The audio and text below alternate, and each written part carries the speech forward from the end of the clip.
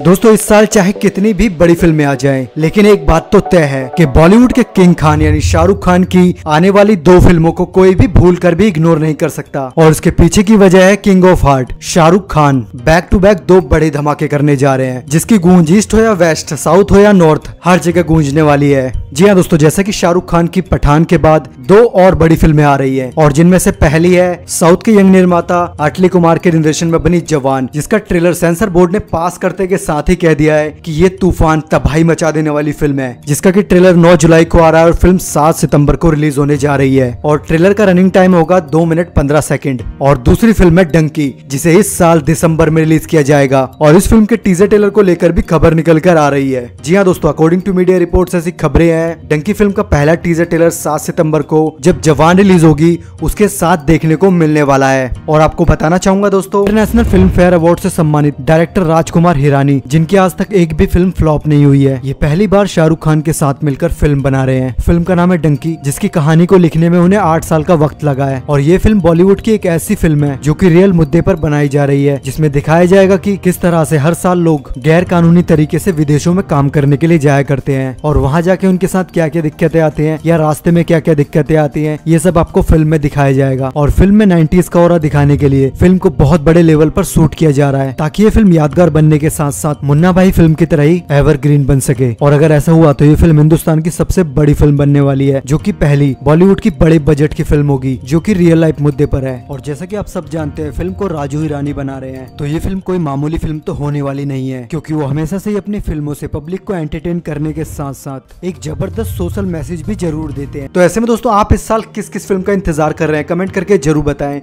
साथ ही वीडियो अच्छी लगी तो वीडियो को लाइक करें और मूवी से रिलेटेड ऐसी अपडेट्स के लिए माई टॉक्स को सब्सक्राइब कर लें।